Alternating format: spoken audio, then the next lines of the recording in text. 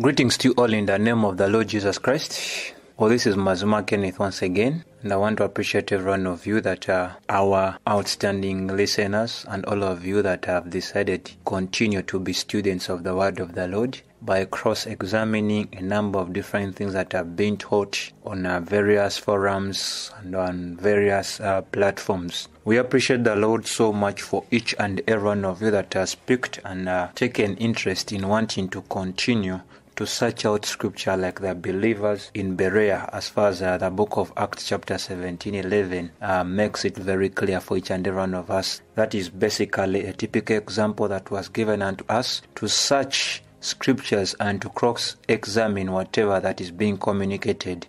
We shouldn't elevate any man above that which is written. That's why Paul was also very happy uh, for the Berenians to actually have come to a place of being able to look actually down upon him being actually a man that was separated as far as uh, uh, the apostle to the Gentile is concerned, but they still cross examined everything that he was communicating. So that's the way for us to go. And uh, today I want us also to continue to look at something uh, uh, new as in the same line of the things we have covered that is to do with the, the tribulation and the coming wrath we have done a number of, di- of different teachings under this particular series. And uh, there are other particular things that uh, we also need to look on too. So before we get into all of this it's very important uh, to understand that the issue of the millennium is one of the things that is also not commonly taught in the modern day church today. The reason is very simple is that some people do not have just a clear understanding of what it is and some other people they do not have any interest in wanting to know what it's all about because if an individual picks interest in wanting to know what will happen during the time of the millennium that will basically mean that that individual will get into study and things are clearly uh, given unto us in the scripture that we need to be knowing concerning those particular issues so today we are looking at the the truth about the millennium, or actually what we can call the messianic kingdom, the truth about the millennium, or actually what we call the messianic kingdom. So, this is an important event that also needs our attention. Remember, the start of all this is 2 Timothy 2:15. Paul was very clear when he was writing to Timothy. He said, Study to show yourself approved. Study to show yourself approved. Before we are approved of men, we are approved of God. That is why God does not, in one or the other, endorse a minister that is not a student of His word. That's very important. I've always repeated it and I'm saying it once again. That's how it is in the scripture. God approves only ministers that are student of His word. It doesn't to say a workman that needeth not to be ashamed. There is something on top of this that you and I need to understand. The Bible says, a workman that needeth not to be ashamed. That means that if a person is not a student of the Word of God, that person will be ashamed even of some particular areas that are within the writings of the Scriptures because he will be lacking this one below. That means to say, rightly dividing the Word of truth. Because if you cannot rightly divide, you'll end up being ashamed of talking about particular portions of scripture and then another thing that will happen to you if you don't know how to rightly divide you'll end up mixing up the entire bible. What is of the old testament you apply it in the new testament. And what is of the new testament you apply it in the old testament. So you don't know what is to be continued and what is to be discontinued as far as the old testament is concerned. And then you end up doing what we call the commingling of scriptures. So looking at the messianic kingdom or what we call the millennium. This is actually a period as far as the events that are going to lead to what we call eternity that we also need to pay close attention to uh, regarding this particular matter. And that's why, since we have covered a number of things that are to do with the tribulation and the coming wrath, the blessedness of those that die in Christ, and uh, the Antichrist uh, system, and all of those that are involved in it, uh, the great white throne judgment, and so a number of different things that we have considered, it's also important for us to look at uh, the millennium or what we are calling the messianic kingdom, the time when Christ will be reigning here on earth for a period of 1,000 years. So this is the period in one other that um, when you look at the book of uh, Revelation chapter 20, say that, and I saw an angel come down from heaven having the key of the bottomless pit with a great chain in his hand. There is a reason for that angel having the key of the bottomless pit, verses 2, and he laid hold of the dragon. Now the dragon here in, in context, still they're talking about the devil. Remember, these are the two wings of that of the devil's move against the church. The first one is the serpent, that is the deceiver, and then the dragon is the persecutor. The same way it is made very clear in Revelation 12, seeing that woman that was being persecuted by the dragon. The Bible says that old serpent, which is the devil and Satan, and bound him for a thousand years. So before we enter into the millennium, there are particular things I've already discussed concerning what happens before the millennium. The devil himself will be bound for a period of 1000 years. That is why in the time of the millennium there will not be tempting. There will not be any temptation that comes from what we call the devil and his demons and all of those particular things. Verse 3, it has to say, and cast him into the bottomless pit. As we are reigning with Christ here, as far as his 1000 uh, years of reign here on earth, the devil will be actually incarcerated or he will be thrown already into the bottomless pit and it will be shut upon him and a seal will be set upon him and he should not deceive the nations. So during the time of the millennium, the Bible says the nations will no longer be deceived by the devil anymore till their thousand years should be fulfilled. After that, he must be loosed a little. This is one of the things that we have also made on other teachings to make a concretization that basically means that no believer, no minister, no any prayer warrior has been given the right and the authority to bound the devil other than that particular angel that God has chosen in that particular time that is going to bind him and actually throw him into the bottomless pit for a period of 1000 years. And on this I have made myself clear by telling you that the simplest the Bible shows that we have been given that we are supposed actually in one other that to implement is to put on the full armor of God as stipulated in the book of Ephesians chapter 6 from verses 10 to verses 17. The other thing that is also very peculiar as far as we are concerned is the issue of knowing that James chapter 4 verses 7 is also clear on that note, submitting ourselves to God, resisting the devil, and the devil shall flee away from us. Now, that's very important. So as we continue to live on and being sanctified by the truth which is the word of God, we need to live by the clear instructions that are already given unto us, not to add or to subtract. That's very important. So, the period leading to the millennium, we realize that uh, from the Bible, when you look into the book of uh, Revelation, chapter 19, and uh, verses 20, the Bible shows us that, uh, and the beast was taken with him and the false prophet that wrought miracles before him, with which he deceived them that had received the mark of the beast, and them that worshipped his image. These both were cast alive into the lake of fire, burning with brimstone. So the Antichrist and the beast, they will be the first group of individuals that will test what we call the lake of fire. So they will be thrown in alive. Verses 21, it says, The remnant that was slain with the sword of him that sat upon the earth. So we see one thing that is very outstanding is that the Antichrist and the false prophet will be actually cast into the lake of fire alive, and that will be the first group to test what we call the lake of fire. So, by the time we come to the to Revelation 20, verses 1 to verse 3, which we have also seen that it states that Satan will be cast into the uh, the bottomless pit, imprisoned for a period of 1,000 years until the thousand years are actually over. The Bible makes it much more clear for us to understand from what we have already discussed that uh, during that particular time of the millennium, the devil won't be moving around. However, one thing we know for sure that we do not have to take for granted the particular things that are going to happen before the millennium basically comes to pass. One of it is actually uh, we know that uh, the Antichrist and the false prophet will be thrown into the lake of fire. The second thing that will happen, the devil will actually be born for a period of 1,000 years.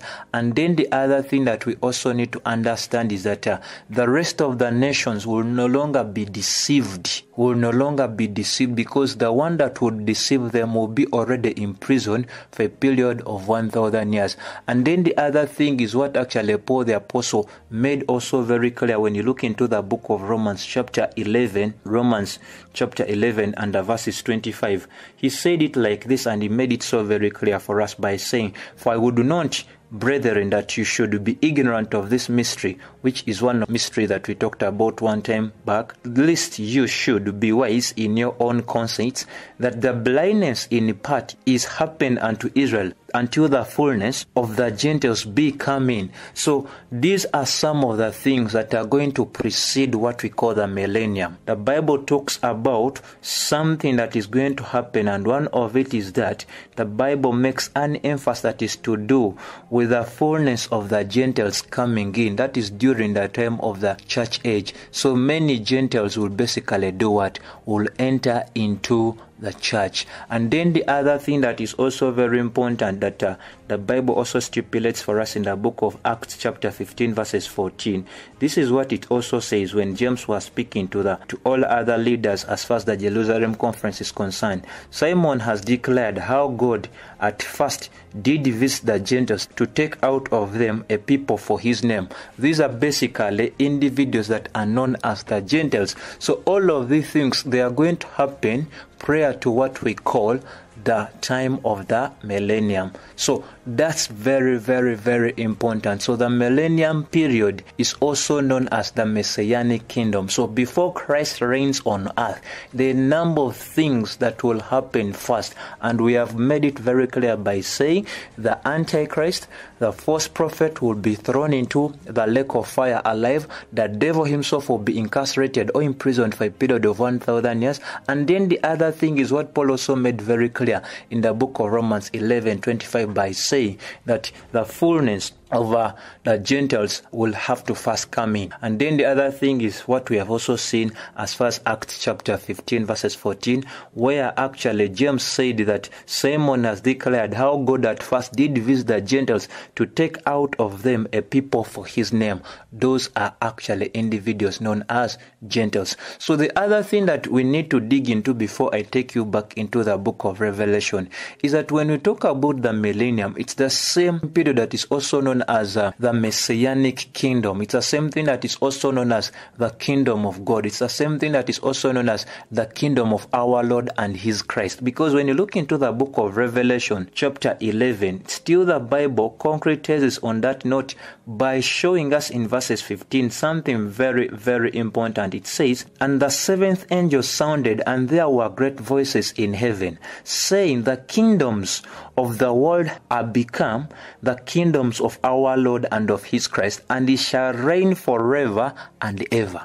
That's very, very important. So the millennium period is also known as the kingdom of our Lord and of his Christ who will basically do what? Reign forever and ever. The other thing that is also very important for us to consider is the book of Luke, chapter 22, just to add on to that because scriptures have to be explained by other scriptures uh, Luke 22 17. This is what it says. And he took the cup and gave thanks, and he said, Take this and divide it amongst you. So, for I say unto you, I will not drink of the fruit of the vine until the kingdom of God shall do what shall come.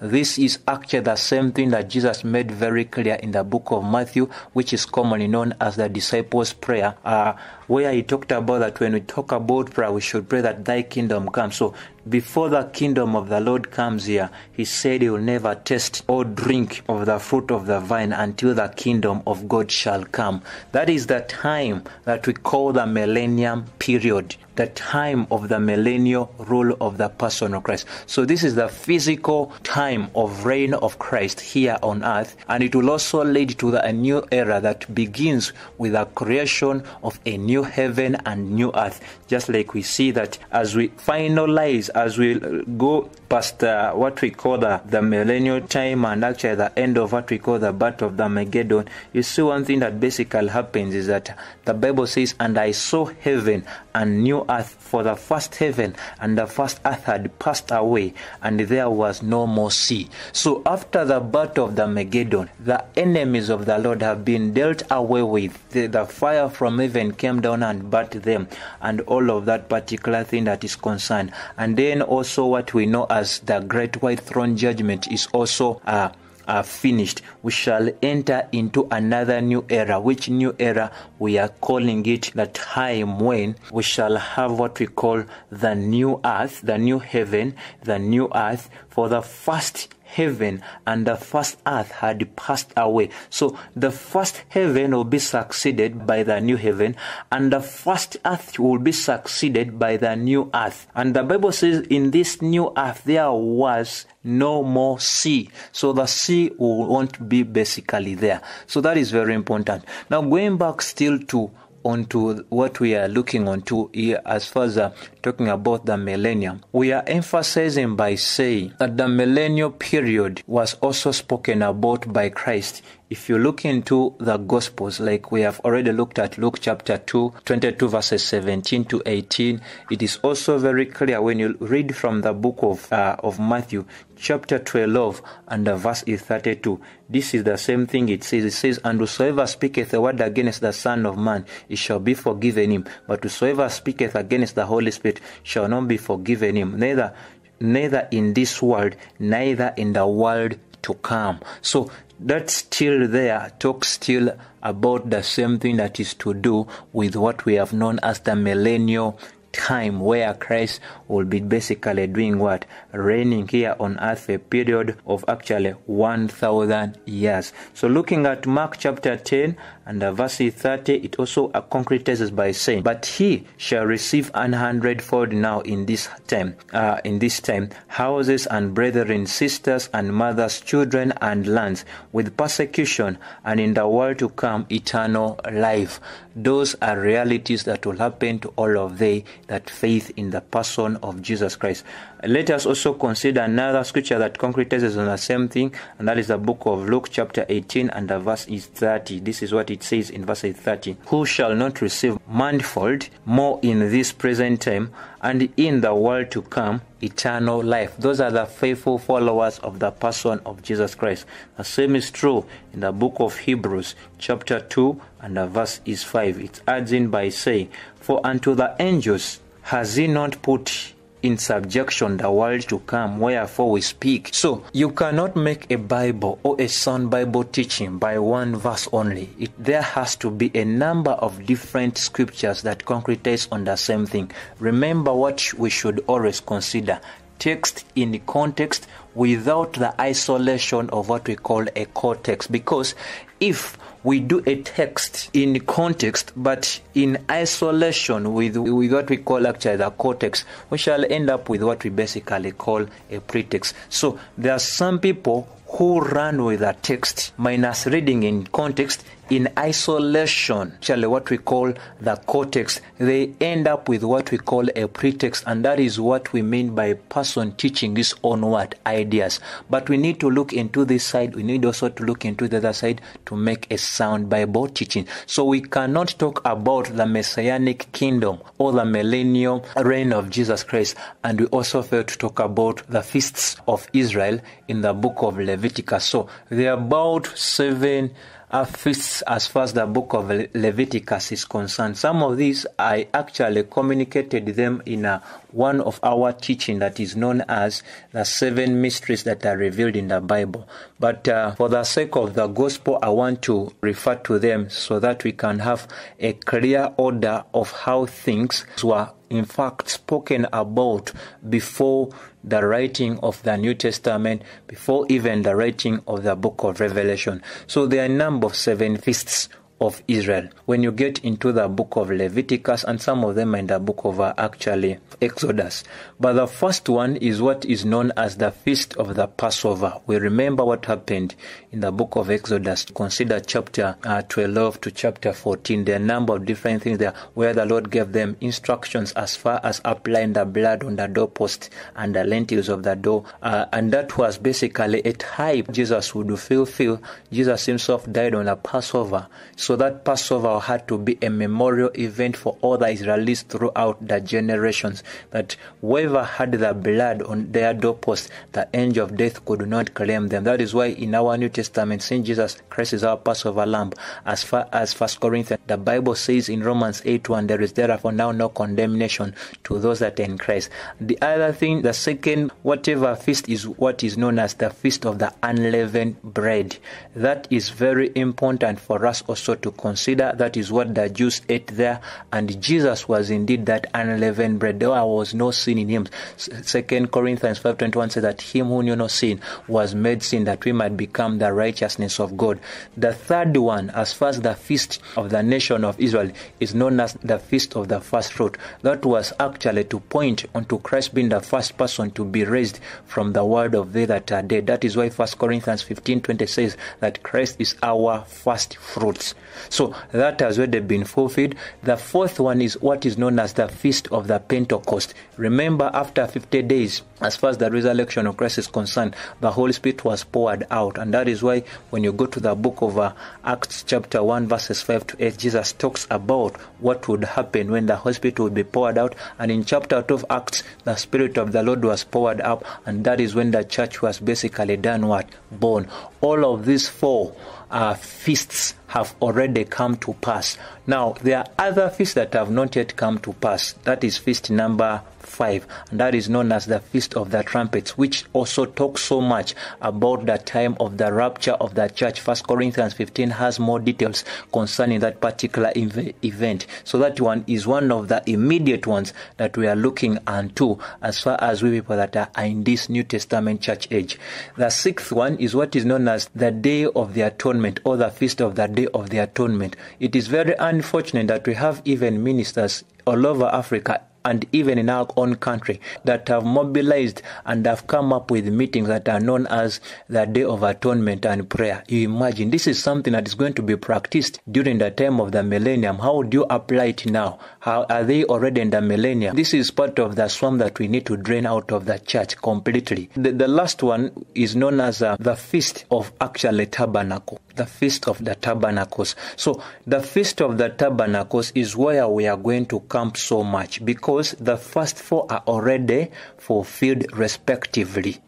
The crucifixion, we have talked about it. The sinlessness of the sacrificed lamb of the Lord, we have also seen it as far as what John called Jesus in John 1.29, Behold the Lamb of God that takes away all the sins of the world. We have also seen, seen actually the one that is also to do with the Lord's resurrection, that is to do with the first fruit.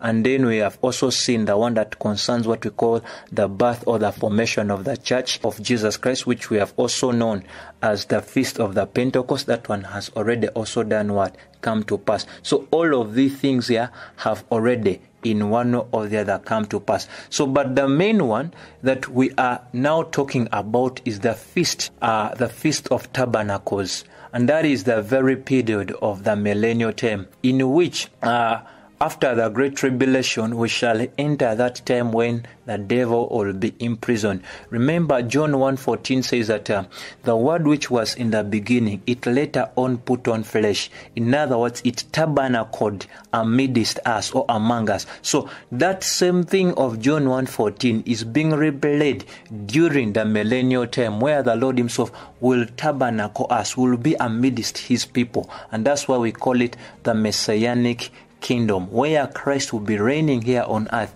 a period of one thousand years. So the Lord will again amidst his people bodily among them and hence fulfilling what we call the Feast of the Tabernacles. And uh, when you look into the book of Leviticus 23 33 to 44, it has more details. But uh, for the sake of time, I want to take the short one, which is in the book of Amos looking at Amos chapter 9. This is what it says in the book of, of uh, Amos chapter 9, verses uh, 11. It says, And in that day will I raise up the tabernacle of David that is fallen, and close up the branches thereof, and I'll raise up his ruins, and I'll build it as in the days of the old. That is actually as far as Israel and Jerusalem is concerned. The other that I also want to concretize with is actually Zechariah chapter 14 and verse is 16. This is what it says in 14, 16. Zechariah chapter 14 verse 16. It says here, and it shall come to pass that everyone that is left of all the nations which come against Jerusalem shall even go up from year to year to worship the King, the Lord of hosts, and to keep the Feast of Tabernacles. That's what we are talking about.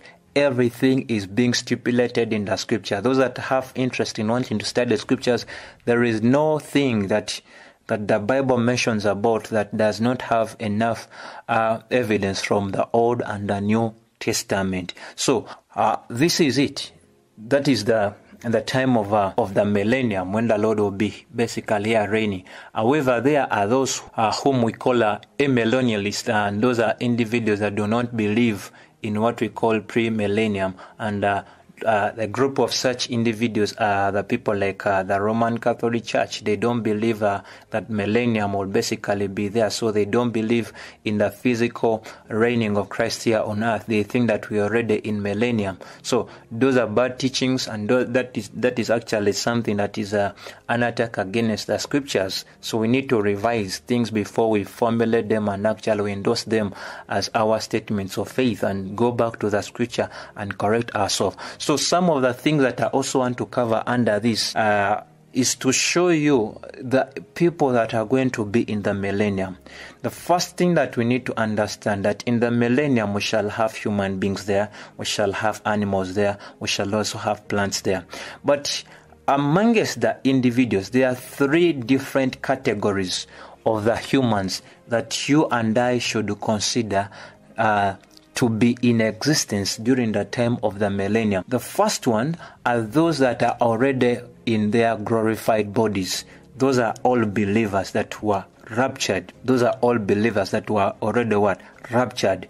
And those are the individuals that we know that are going to be within the millennial period without them having the mortal bodies. People that have been exempted from their sinful nature because they have now entered into a glorious state. So that is one of the things that we should know that that is one of the group that is going to be there because when brother Jude was talking about it in Jude 14 I want to show something here in the book of Jude 14 and Enoch also the seventh from Adam prophesied of these things saying behold the Lord cometh with ten thousands of his saints. So those are believers that are part of the body of Christ that already in one or the other who have crossed to glory. And part of those who are actually raptured within what we call the time of, uh, of the great tribulation and all of those the lord took them for him so that is one thing that we should basically know about that the second group there will also be those individuals in one or the other that will have in one or the other survived what we call survived actually what we call the tribulation. And those individuals that had survived the tribulation. They're also part of the millennium, but the only unique difference about them, they will still have their mortal bodies. So that is very important. Category number three are those individuals that will be born uh, into the kingdom or during the millennial reign of Christ here on earth. The children of those people that survived the tribulation will actually be born uh, during the time of the millennial reign, and so that is one thing we expect that since their fathers survived the tribulation, when they give birth to children, those children will still also have the same motor bodies, just like what their parents. And so here is where I need you now to pay close attention to the writings of the scriptures. I want to take you uh, to the book of uh, Isaiah chapter 65, and we also look at some of the things uh, that was shown to Isaiah way back before we even thought that uh, uh, someday the Lord Jesus will come. But one thing we thank the Lord about is that scriptures have everything that we need to know. So when you look at Isaiah 65 and the verse, if I may begin with verses. Uh, verses 24 it says, And it shall come to pass that before they call, I'll answer. Those are the people during the time of the millennium. And while they are yet speaking, I'll hear. There are some people who have used this scripture right now. There is a teaching that I think we have also done that is to with uh, uh, establishing millennium before millennium. You hear so many prayer warriors saying, The Lord says in His word that before you, you pray, before you call, He will answer, that before you speak, He will hear. That is not now. That is during the time of what we call what? The millennium. You need to understand some of it. That is why I've also had a number of ministers saying that how can a believer fall sick? How can a believer be poor? How can a believer lack this and that? Those are individuals that are trying in one or the other to establish millennium before millennium. There are particular things that are actually going to be a normative that are going to be realities on the other side, but they are not yet a reality onto this side. We are still having what we call perishable bodies. First Corinthians uh, 15 53 is very clear about those particular things, but then still you'll hear people say, a believer cannot fall sick and all of that nonsense. So I think it is the the issue that I started with that is still a challenge. There are people who are suffering from the issue of right dividing. If they try to divide, they end up actually commingling and mixing up things together. But the Bible says that these will be a re- realities in the millennial time. Verses uh, 25 The wolf and the Lamb shall feed together. That is the term of the millennium. So, wolves are actually a no go zone area for you and I to play with them because right now they are not yet tamed to the max. You can tame them to a particular level, but not fully. But during the time of the millennium, the Bible says the wolf and the Lamb shall feed together. This is not a possibility right now in the modern world where we are. And the lion shall eat straw. Look at that one there, like the bullock. And the dust shall be the serpent's meat. Now, this is one thing that is going to remain consistent. The curse of Genesis towards the serpent will still stand in the time of the millennium. That is why here the Bible says, For the serpent still it will continue to do what? To feed on the on the dust as its meat, and they shall not hurt nor destroy in all my holy mountain, says the Lord. Those are things that the Bible tells us that they are going to be realities. Animals will also be there, like we have already now talked about them. And one thing that is also very important is for us to know what the book of Micah, chapter 4, uh, adds in. Micah, chapter 4. When you look into the book of Micah, chapter 4, and the verses 4, it says, But they shall sit every man under his vine and under his fig tree, and none shall make them afraid, for the mouth of the Lord of hosts has spoken it. So during the time of the millennium, people are looking for compensation in this world for a number of things they have lost. That's not going to be a reality. People are looking for justice in this world. You may, you may not. But one thing I can assure you, there is a world which is coming where we are having, where we are going to have Christ reign actually here on earth. We shall have all the justice that we have always ever yearned for. But for now, I cannot promise you whether you're a believer or you are not what a believer. So these are important things for us to know. In the time that in, during the time of the millennium, the change uh, will actually be there. There will be something that will go into some particular outstanding changes. That is number one, that is to do with the bodies of animals. From them being carnivorous, like those early animals which are carnivorous, they will change into being herbivores, meaning they will solely depend on eating what we call plants. So there will also be a, a change in their digestive system, whereby they will have to, in one way, that to be adjusted to eating plants. That's something very important. So those who are saved, uh, and actually no know that those that have survived the tribulation will still be here on earth to enter into the millennium with their mortal bodies, like I've already made it, but they will still do what? They will still die. These are individuals that will be both what? Jews and Gentiles. So when you look at uh, Isaiah, uh, still if I may go back to concretize on that particular thing I've just mentioned, looking at uh, the book of Isaiah 65 and the verse is 20, uh, this is what it says, There shall be no more hence an infant of days, nor an what? Old man that has not filled his days. So we are going to go back the term of the millennium for those that have what we call the mortal bodies.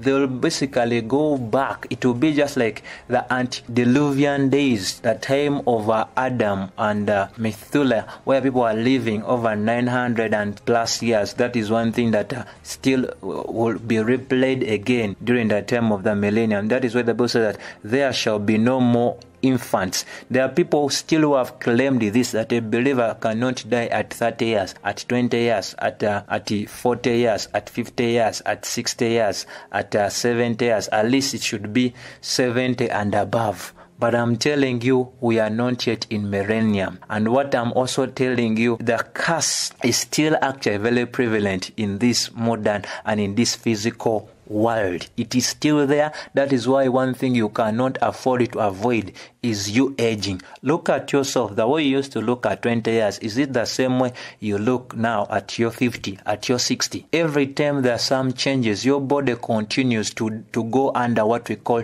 a disintegration. You want it or not. You can use all the syrups. You can use all the chemicals. You can use all the scrubbing. You can use all the plastic surgeries. You can use all kind of Vaselines, but I'm telling you, all of them, they are not going to keep you the same way you looked at 15, at 20, at 30. You are aging and you're going. Even if you don't die of an accident, of any disease, of any virus, still you will die. The age itself will fight you. So, but the time is here. The Bible says, There shall be no more hence an infant of days, nor an old man that has not filled his days. For the child shall die at a hundred years old. That is during the time of the millennium. For individuals that had not yet, or in one way that together individuals that that had not put on what we call the glorified bodies. The Bible has into say, but the sinner, being under hundred years old, shall be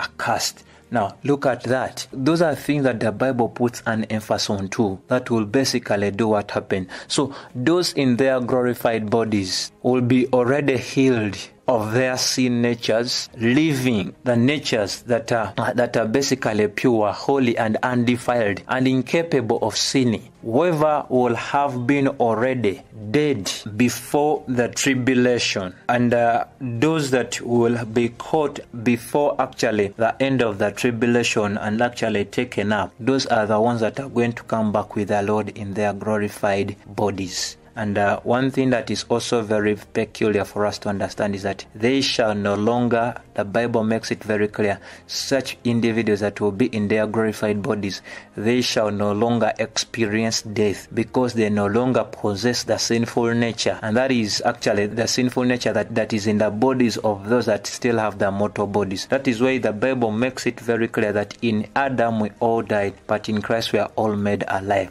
That means that the physical death will not have an an opportunity over us. And there are particular things that we shall not be able to do. One of it is what Jesus made very clear to the question that the Pharisees were asking, and he answered them radically and clearly by saying, when you look at uh, when you look at Matthew 22 and verses 28, he says, "Therefore, in the resurrection, whose wife shall be of the seven, if they shall." In fact, let me begin it down here for you to get it very well. It says in verses uh, 23, Matthew 22, 23, the same day came to him the Sadducees. Remember, they didn't believe in the resurrection. On that part, the Pharisees actually for them believed believed in what we call the resurrection. So even amid these, these different groups, uh, I would say that uh, uh, the Pharisees were more orthodox than the Sadducees because much of what they were believing was actually biblical, apart from the traditions of men that they held on to so much. But now the Sadducees, since they never believed in the resurrection, they were actually thought that they, that they were having a teaser question that would silence Christ, but he had an answer for them, which saith that there is no resurrection. Asked verses 20, 24.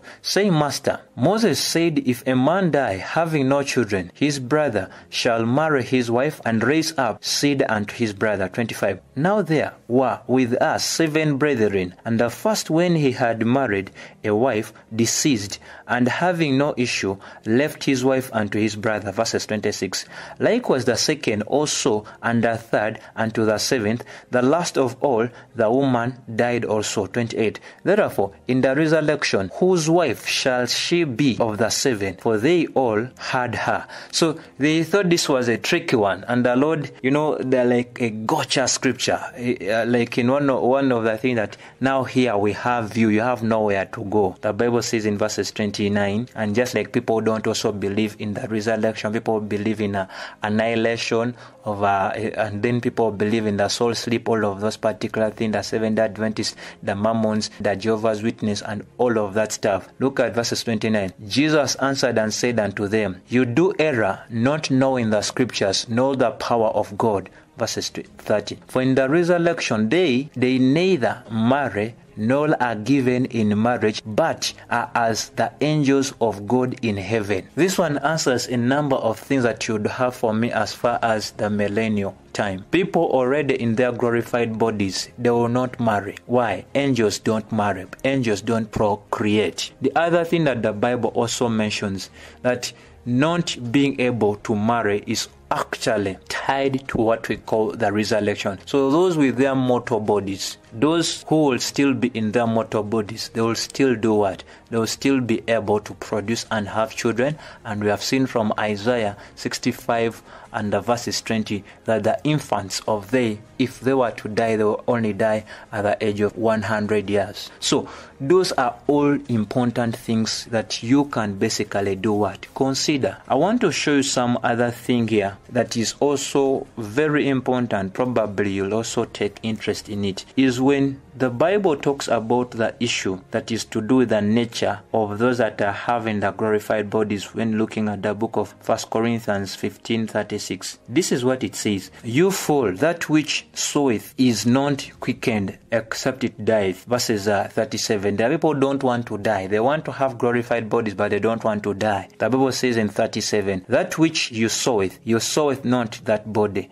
that shall be, but bear grain, it may chance of wheat of some other grain. 38 doesn't say, But God giveth it a body, and as it has pleased him, and to every seed his own body. Look at that. Every seed is own body. So in the resurrection, there's a different body. 39. All flesh is not of the same flesh. Look at that. But there is one kind of flesh of men, and another flesh of beasts, and another flesh of fish, and another flesh, and another of birds. Look at now verses 40. It doesn't say there are also celestial bodies. There are also celestial bodies, and the bodies terrestrial. So there is what we call celestial that is out of this world, and there is what, what, what we call terrestrial that is of this world. But the glory of the celestial is one, and the glory of the terrestrial is another. Pay close attention to this as we bring this to a conclusion. It doesn't to say there is one glory of the sun. Look at that one there. There is one glory of the sun, and uh, another glory of the moon, and another glory of the stars. For one star differeth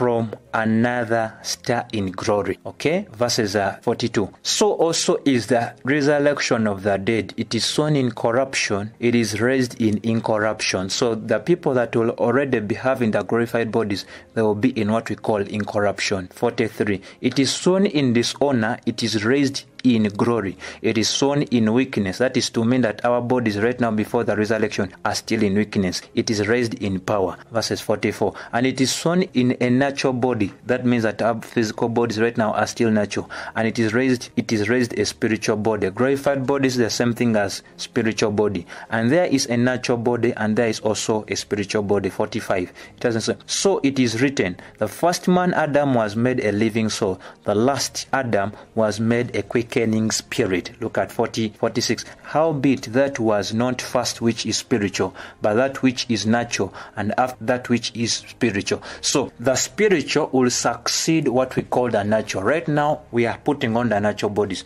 But when we are raised, when we are caught up in the rapture, that is when we put on the spiritual bodies. 47. For the first man is of the earth, earthy, and the second man is the Lord from heaven. Since the Lord is from heaven, therefore we put on the heavenly bodies. Verses 48. As it is the earthy, as is the earthy, such are they also that are earthy. Since Adam was of the earth, that is a literal meaning. Even they that are born of Adam, they are of earth. It adds into sin. And as the heavenly, such are they also also that are heavenly. If you belong to Christ, since He's of heavenly, therefore your body will be you will be actual of the nature of heaven. 49. And as we have born image of the earth, we shall also bear the image of the heaven. So before you put on the image of the heavenly, First of all, you and I are still putting on the image of the earthy. 50. Now this I say, brethren, that flesh and blood cannot inherit the kingdom of God, neither does corruption inherit incorruption. That is it as far as the millennial time and each and everything that you need to know about that. How do they get saved? It is very simple. That is why we have what what is known as the feast of the day of the atonement. The same way the Old Testament individuals had to look onto the sacrifices, had to put faith in the sacrifices. That sacrifice was pointing to Christ. Therefore, the people in the millennium they will look back to the sacrifice that Jesus gave upon the cross of Calvary to receive their salvation. For us, we look unto Him that was sacrificed with faith in, in the sacrifice of Christ. So now, these people in the millennium they will have to look back onto what the Old Testament people, they were to look forward to what the Lord would do upon the cross of Calvary. But now the people in the millennium, they will look back to what Jesus did upon the cross of Calvary and faithing in that one single sacrifice because we don't have another sacrifice other than that that was given by Jesus Christ. And the reason for that is actually the book of Hebrews chapter 9 verses 12 makes it very clear.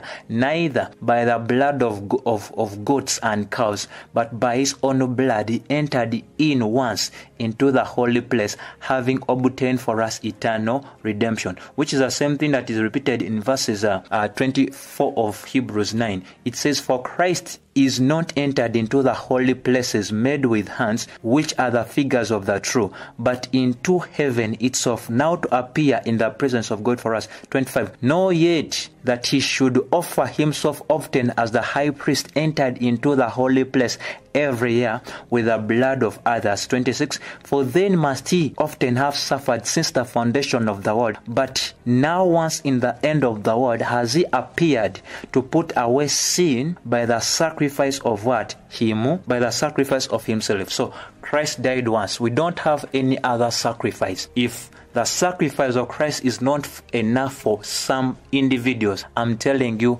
they will never be saved. It is very clear. He died once and is not going to die again. To all of you that are not yet in Christ, you have had it all. Jesus is the only sacrifice for our sin that God gave for us. And if you come to a place of repenting after you've heard this wonderful gospel and you believe in his death, burial, and resurrection after you have repented of your sins, I'm telling you, you can be saved right now because salvation is not tomorrow. Second Corinthians 6 2 says that behold, salvation is for today. Stop postponing because every time you postpone, you will not experience. And I'm telling you, heaven is real and hell is also real. But the good news is Jesus did everything possible to keep you away from going to hell. That is why you are hearing me speaking. That is why you are able to hear this message. So I urge you to receive the Lord Jesus today. And for more information, call us on 0773 23 70 65. I repeat, 0773 23 70 65. Shalom.